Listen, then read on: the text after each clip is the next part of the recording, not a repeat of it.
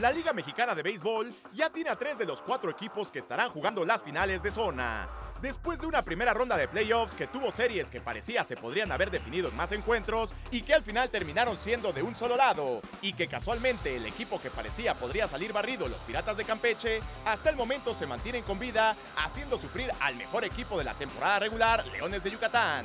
La nota del fin de semana la dieron los actuales campeones de la pelota de verano, los cuales no pudieron ni meter las manos ante los Pericos de Puebla y cayeron en cuatro encuentros para de esta manera dejar el trono para otra novena en este 2016. Los Pericos terminaron por demostrar tanto en Puebla como en Cancún por qué durante gran parte de la campaña fueron el mejor equipo de la competencia. Para el viernes regresaron de estar 2-1 abajo en la pizarra para conseguir la victoria 4 carreras a 2 y para el sábado remontaron una desventaja de 5-1 para vencer a los Tigres 7 carreras a 5.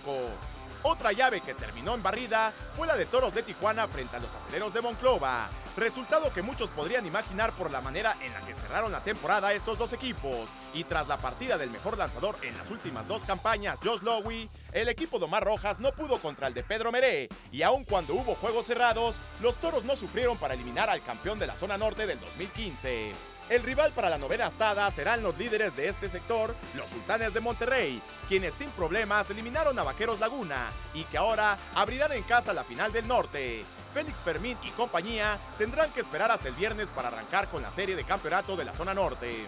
El único compromiso que por lo menos tendrá que esperar un juego más es el de los Leones de Yucatán y los Piratas de Campeche, que en teoría era el equipo más débil enfrentando al más fuerte.